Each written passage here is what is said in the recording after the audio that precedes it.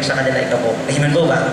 So ibigay na po ang inyong mga ikapo tando, kasama pa yung mga iba pong papurian. Amen po ba? Sige, ibigay na po natin. So, ta, magpatotoo ka. Sige na. Hello. Ah, last Sunday po kasi nung nag-promise si Pastor na this week you will receive surprise in your life. Tapos after that Sunday, Tuesday or Wednesday, may na-receive na memo yung husband ko from his work. Ah, sabi doon, ah, permanent worker na siya dun sa com- company nila. Hindi na siya contractual. For almost four years, for more than four years, contractual kasi siya.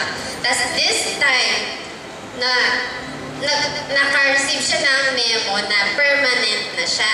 Nadagdagan yung salary niya, tapos may allowance pa.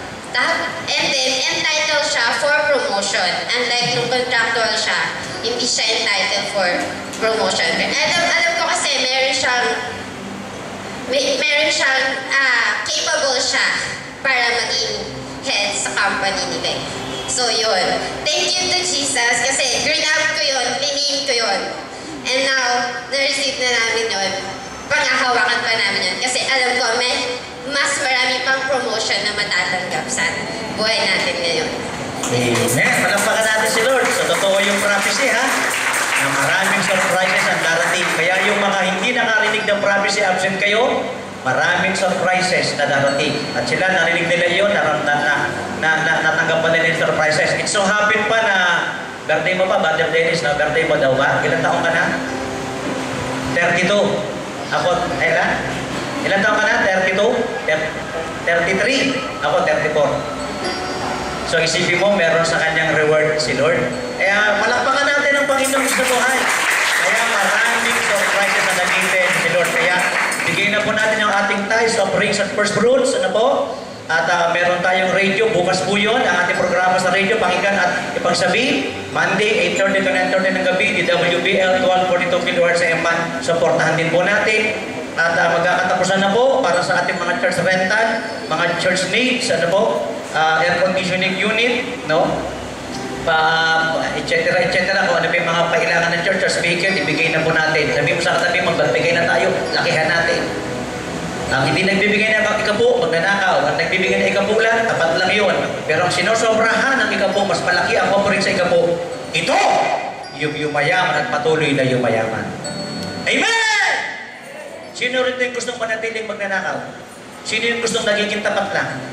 Sino yung gustong umaakong magkapala?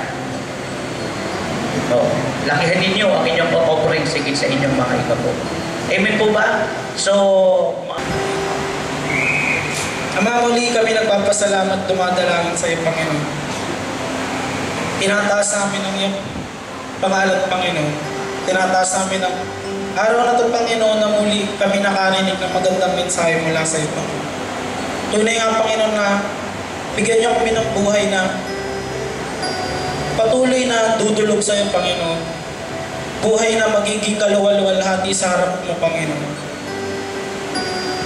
Pakaingatan niyo po bawat isa sa amin, Panginoon. Lahat ng aming pagkukulang, Panginoon, naway iyong punuan. Maraming salamat, Ama, sa pag-iintindi niyo sa amin, sa pag-unawa niyo sa amin at inyong kahabagan. Salamat dahil patuloy na kinakahabagan niyo kami. Bagamat maraming pagkukulang, nandiyan ka para tugunan kami. Nandiyan ka sa mga oras ng pangangailangan namin. Sa oras na kami nahihirapan, nandiyan ka para tumulong sa amin. May you continually bless us, Father. Each and every one of us, Father. Naway sa aming pansamantalang paghiwa-hiwalay sa lugar na to. Naway balutin mo kami ng iyong dugo, Panginoon. Pakaingatan mo kami, Panginoon binabalik namin ang lahat ng papurit pa sa salamat sa pinakamataas na pangalan ng lamang. Lahat ng anak ng Diyos ay magsabi na. Amen.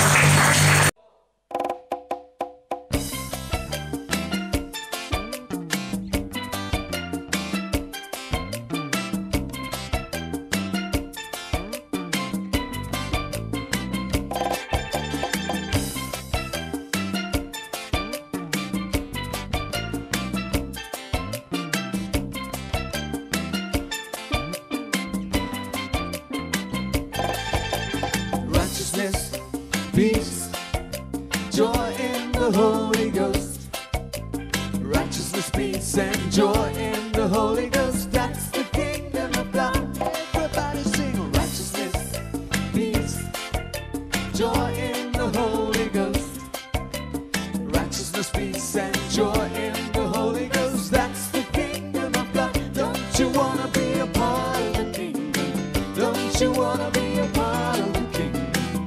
Don't you wanna be a part of the kingdom?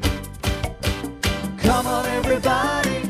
Don't you wanna be a part of the kingdom? Don't you wanna be a part of the kingdom? Don't you wanna be a part of the kingdom? Come on, everybody.